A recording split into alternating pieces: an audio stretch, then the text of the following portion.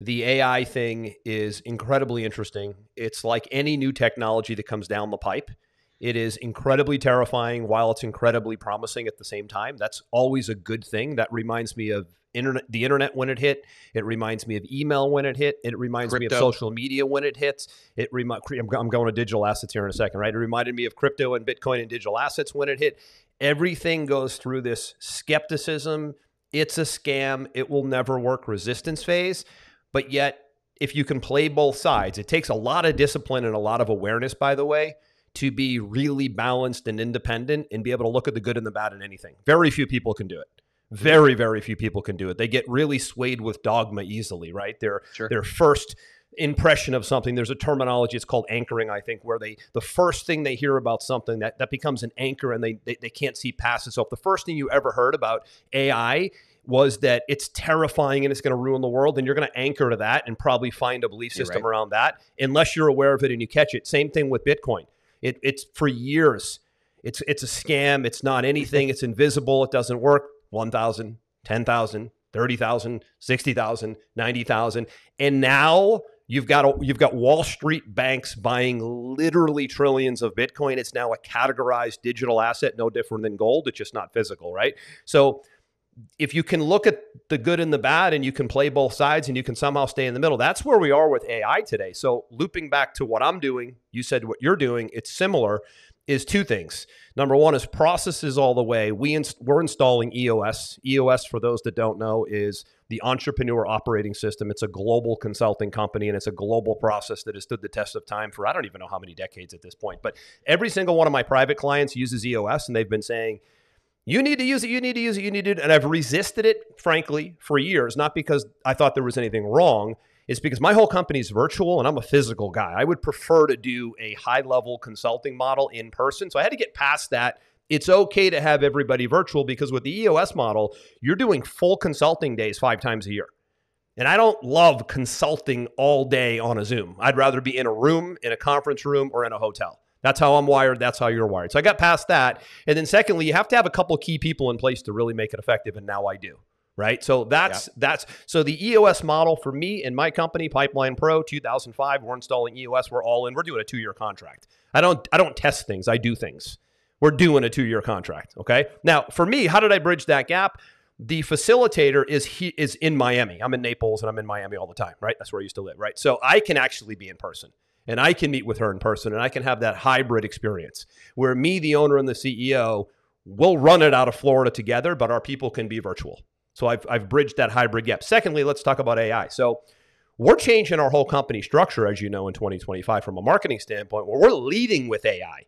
We've spent the whole 2024, this is important, I'll put a link down below is Pipeline Pro, my software company, which is now an Inc. 5000 company, five years old now, global company, tens of thousands of users, dozens of different countries.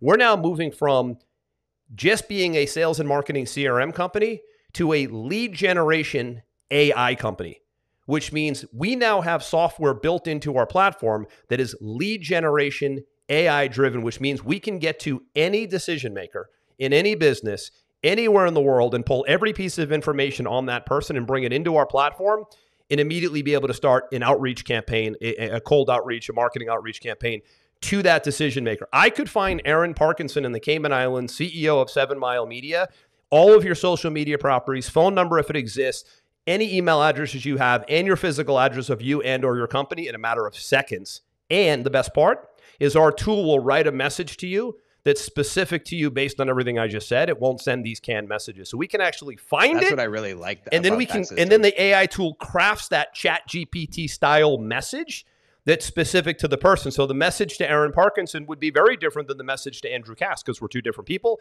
We have two totally different online profiles and footprints. And boom, that's the game now. So processes and systems, yes. And then not only are we utilizing AI, we're now selling AI as a software tool for you, the business owner, entrepreneur, to grow your business and have steady, consistent leads coming in week in and week out.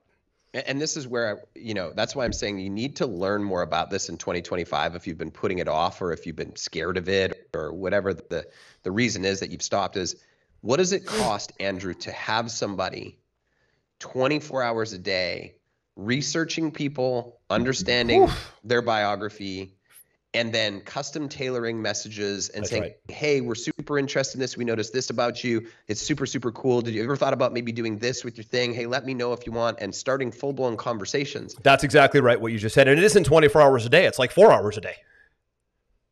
What do you mean? Meaning it doesn't require 24 hours a day because of the technology. You can get all that information with, with a focused couple hours a day with the tool. You don't need to be 24 hours a day.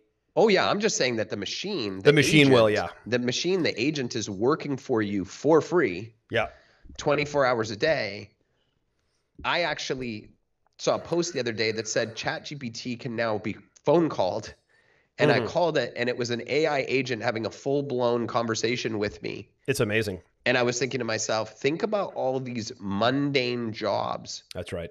That are going to get eliminated because it doesn't get tired. Mhm. It doesn't talk back. It doesn't ask for raises. It's consistent all day, 24 7. Yep. It does exactly what you want it to do. So, does that mean a whole bunch of people are going to lose their jobs? Yes, they will. However, what does that mean? Understand how to incorporate yourself into these changes before it happens to you, Yeah. i.e., like becoming my copywriting architect. That's right. Listen, the AI thing, Aaron, also is the, the people who should be the most concerned about AI eliminating them are the people who have the least amount of skills and the least amount of value to bring to the marketplace. They're usually Correct. low level administrative type people. So if that's you and you feel like, wow, I'm really just, I'm really not in a niche. I'm really not a specialist in what I do. I'm not a copywriting specialist. I'm not an advertising specialist. I'm not a high level consultant that focuses on one thing in a business, right? If you're not a, specialist in some area, then most likely AI can replace you because you're not a specialist. You're an admin. And, you, and, and AI, and frankly, AI is admin in the form of a robot, to put it in layman's terms, right? Yep. But to your point, a copywriter, literally a heart surgeon, these people aren't going to be replaced. They're going to use AI tools to do better heart surgery. They're going to Yep. use AI tools to write better advertising copy, right? A quarterback for the New England Patriots is not going to be replaced with AI because an AI robot can't throw a football. But you know what that quarterback might do? Use AI to analyze and scrutinize his opponent. Use AI 100%. to maybe craft different plays that maybe maybe it took them too long to craft a play and maybe some AI modules can be put in. Uh, you'll see it in football soon because football's such a X's and O's and chess match type of game.